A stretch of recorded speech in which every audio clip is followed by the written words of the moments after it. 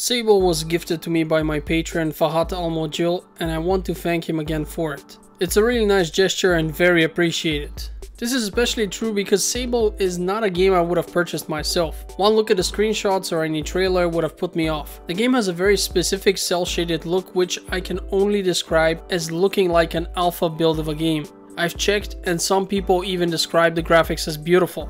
The only words that come to mind when I look at it is ugly and lazy. It feels like this is the first layer of what should have been a much more complex graphical presentation, but the developer simply gave up and decided to cut their losses. Looking at the character, you will immediately notice that some frames of its animations are missing as well. This makes the movement look choppy and creates a feeling which I can only replicate in other games if I somehow force them to run at super low frame rates. In short, it's not something I would like to see in a game and I never got used to it. But okay, we could say the developer was not lazy, but this was all a creative direction they chose to go with. I mean, in theory, everything is a creative direction if you think about it. Let's continue examining the game's features. Every character in the game is wearing a mask. Usually developers do this when they don't want to animate faces since it's a lot of work. Sounds pretty lazy to me. What about voice acting? Yeah, I think you guys know the answer to that one as well. It's so much easier and cheaper to just write some text on the screen. At the end of the day, this game is the avatar of the lazy developer. Corners were cut wherever possible. Luckily the game supports ultra wide both 32x9 and 21x9 so that's a good thing about it. Let's talk about its story. We are Sable, the member of an exclusively female tribe of nomads who has reached the part of her life where she needs to wander off into the world and explore. It's a sort of initiation process. By the way, I did mention that every character in her tribe is female, but you wouldn't know this because of how androgynous they all look. In any case, you will soon unlock a hover bike and be sent around to explore the game's truly huge world. Unfortunately, there is very little exploring to do. The game doesn't really tell you where to go either.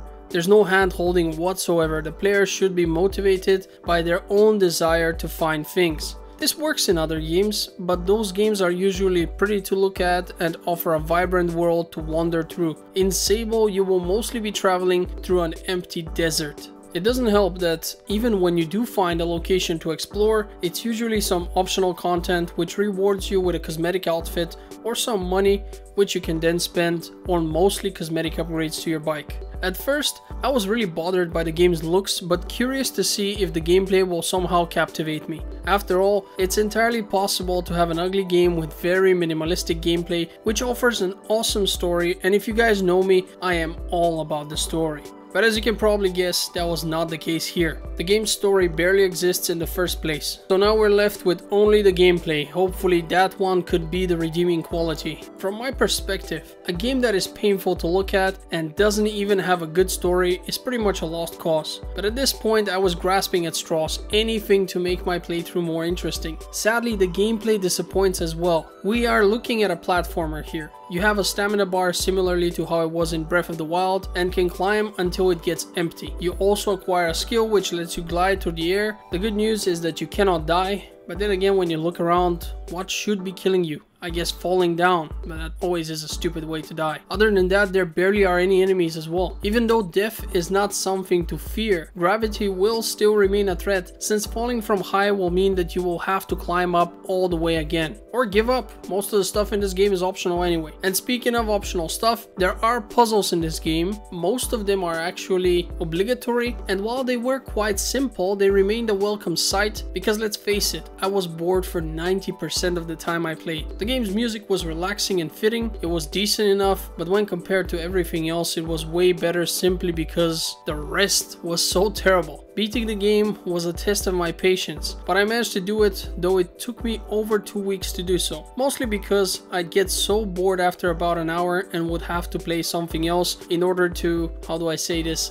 cleanse my gaming palate. The sad thing is that I wanted to like this game. I really did. At the start, I played for around 4 hours without taking a break, thinking that the good part is just around the corner. When you look at it, it's so ugly, when you play it, it's so boring, there are no redeeming qualities here. Honestly, this game is as bad as it gets. So should you play this game? Well, no, absolutely no. This is so lazy and unimaginative. It should not be rewarded with your money and attention. And let's not forget, we the customer vote with our money. So if we don't give them any of it, they will know it's bad. Sometimes I like to support some developers in hopes that they might be able to make something better in their next attempt. But then there are moments like this when a game is so bad through and through. I can see that they had some kind of an idea, but they just had no idea what they're doing for the most part. This is one of those moments where I would rather not have them try again simply because I am so incredibly disappointed and I would genuinely be afraid to try another game made by this developer.